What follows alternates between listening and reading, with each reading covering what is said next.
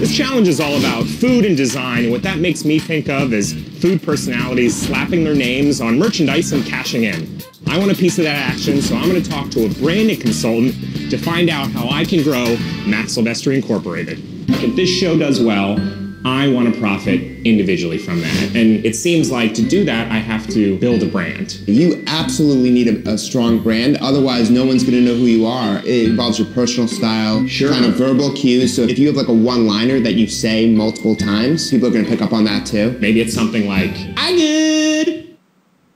Exactly. I just want to create a product that after this show ends, I can sell and make money personally.